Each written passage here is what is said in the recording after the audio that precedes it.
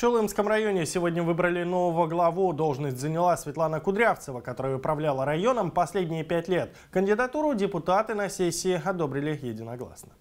Доверяют главе и э, доверили ей дальнейшее управление районом в ближайшие пять лет.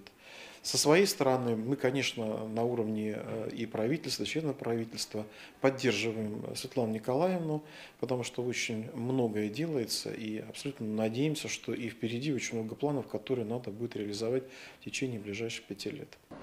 Впервые Светлана Кудрявцева стала главой в 2018-м. За годы управления в районе построили новые объекты социальной инфраструктуры, ФАПы, детский сад, стадион, открыли ТИР, возвели десятки домов, в том числе и для молодых специалистов. А благодаря привлечению инвестиций и участию района в национальных проектах стало больше рабочих мест для местных жителей. Нового главу выбирали в несколько этапов. Сначала кандидаты проходили тест на знание законов и конституции страны, а после представляли программы развития Чулымского района. До финального этапа голосования дошли два кандидата, и Светлана Кудрявцева одержала уверенную победу.